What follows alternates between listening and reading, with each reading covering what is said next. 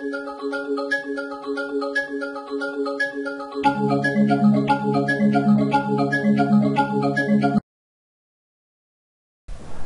video will demonstrate how to create a page guide using TRM's MaxAssist.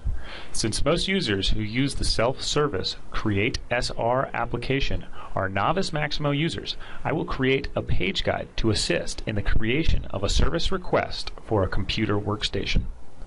Using the RM MaxAssist developer perspective, I will click the new page guide icon in the toolbar of the MaxAssist Explorer on the left of the perspective.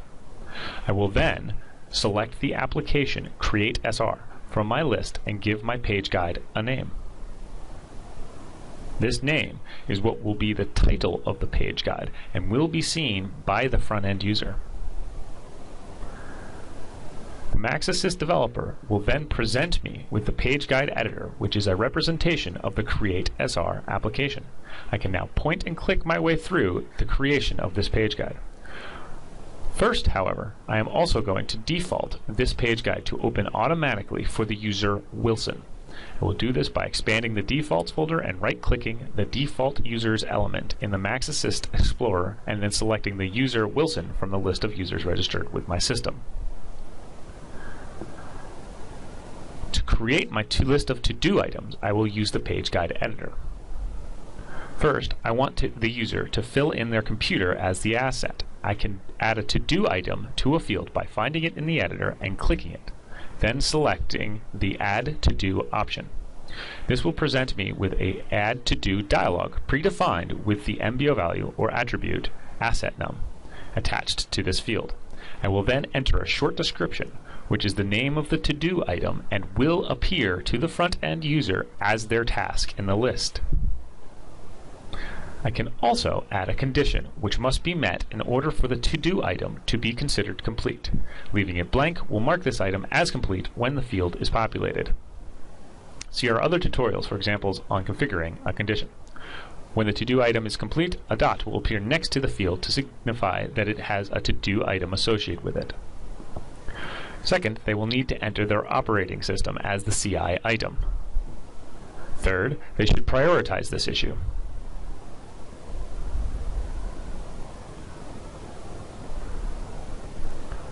I will also add a tooltip that will explain how the priorities work. They will see this tooltip anytime the field has focus. The Details tooltip will expand when the tooltip is hovered over.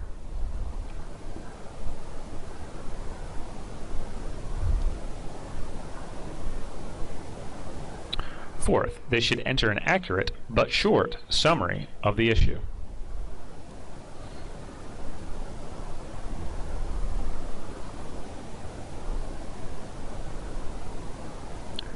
Fifth, they should describe the steps needed to reproduce the issue in the long description.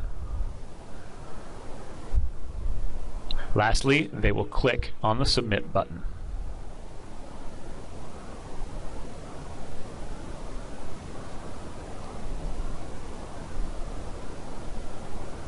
I will then submit this new page guide and tell my server it has new configurations.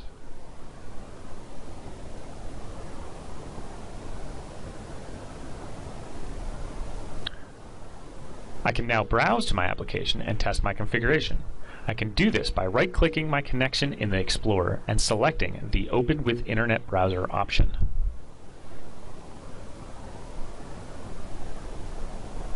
As soon as I enter the app, you will see that my page guide automatically comes up. Notice that my list is movable, collapsible, and extinguishable, making it completely innocuous to the user. As I hover over the items in my list, the fields associated with the task will be emphasized on the page for the front-end user.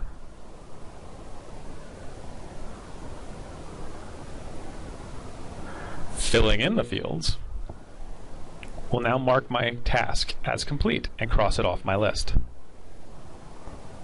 When I click a field where I have attached a tooltip, my tooltip will then appear. Hovering over that tooltip will show my expanded tooltip details with further information for the user. If I click a task, that field will gain focus.